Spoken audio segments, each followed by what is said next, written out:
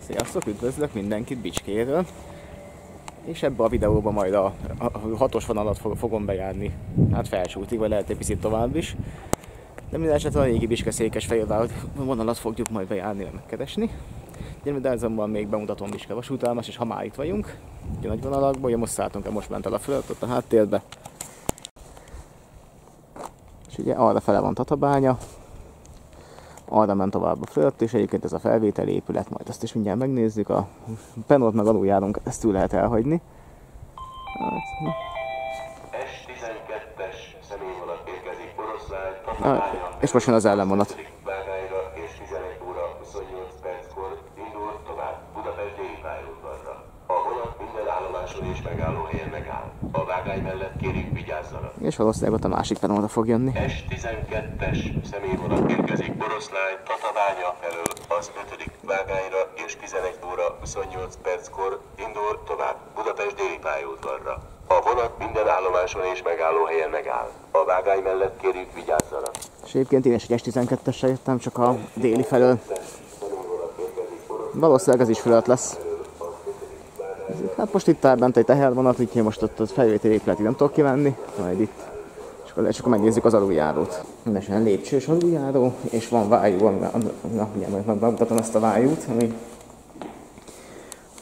az azért hasznos dolog, mert a biciklit itt lehet föltolni. Sokszor még azért felújított állomásokról is kispórolják, pedig ez, ez, ez hasznos dolog. Nézzétek meg, milyen szépen meg van csinálva itt. Nézzük csak. Hoppá. Egyik oldalt jobban van festve a fal, és egész igényes.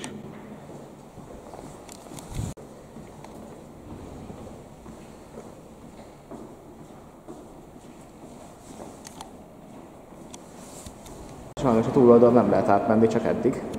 És mindjárt megnézzük, mert ja, itt van még egy feljárat a másik penónal, meg szerintem itt ki lehet menni az állomást elé. Úgyhogy még megnézzük az utcafrontot, meg a felvételi épületet. Na itt megérkeztünk itt az állomás előtti, hát úgymond mini buszpályaudvarra. Most egy busz volt bent, azt, azt le is tudtam fotózni. Még meg a sofőrtől egy, egy, egy-két infót megtudtam. Barátságos volt, és sok mindent el, elmondott. De, de, de egy darabig másik busz nem várható. Itt, és egyébként itt van maga a felvételi épület. Mindjárt megnézzük, hogy milyen helyzet errefele. Szerintem van itt valahol egy váróterem. Meg a forgalmi iroda is itt kell, hogy legyen valahol. Ja, egyébként ez, ez valószínűleg ilyen, hát ha, ha nem is P plusz parkoló hivatalosan, de, de, de gyakorlatilag annak használják. És egész jó ki van használva, látszik előváros még. Még ez is, tehát autóval tele van a parkoló. Tehát talán elővárosi vasútállomásoknál mindig ez van. És úgy látom B plusz, hát biciklikből is rengeteg van itt leláncolva a korláthoz. Lehet, hogy biciklitároló nincsen, vagy ilyen B plusz parkoló, de megoldják. Egyébként ugyanez van Békés Csabán is, hogy a, gyakorlatilag a korlátnak minden négyzetcentiméternél van egy bicikli a buszpályaudvaron, mert egyszerűen nincs egy normális biciklitároló. Valószínűleg itt is ez a helyzet, a váróterem. De majd de nagy bent a népsűrűség. Úgyhogy ugye, nem megyek be.